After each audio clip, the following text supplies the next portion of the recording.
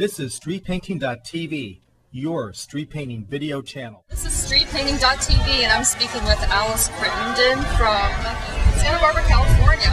Hi, Alice. How are you today? Hi, I'm doing great, thanks. So there are definitely tools that you can use to make it easier to draw your piece. Yes, yes. There's uh, the snap lines to make the grid so that I can find it's a map for me. And um, I don't know if you've seen the sticks that people use, the dowels, and they put a, a piece of chalk on the end of it so you can stand up and draw the large image so that you don't get lost in the, the square.